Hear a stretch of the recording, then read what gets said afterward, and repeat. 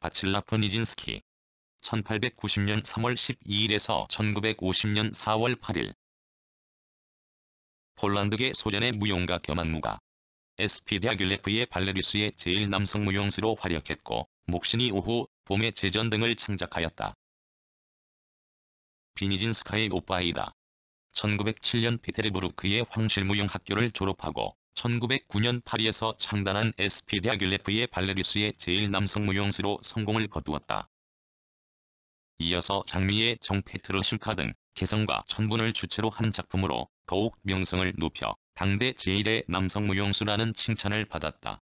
1911년부터 안무가를 겸하여 목신이 오후, 봄의 제전 유희를 창작하였는데 1912년에 자작자연한 목신이 오후는 고전 무용의 법칙을 완전히 무시한 작품으로 특히 문제를 불러일으켜 논쟁의 대상이 되었다. 1913년 남아메리카 순회 공연 중 무용수인 로모라와 결혼, 그것이 원인이 되어 듀야귤레프와 헤어졌다. 1916년 복귀하여 미국에 건너갔고 이듬해 남아메리카 순회 중 정신 이상 증세가 심해져서 요양차 스위스로 떠났다가 뒤에 런던에서 죽었다. 광기와 천재 사이를 헤맨 불세출의 인물로 전설적인 명성을 얻었다.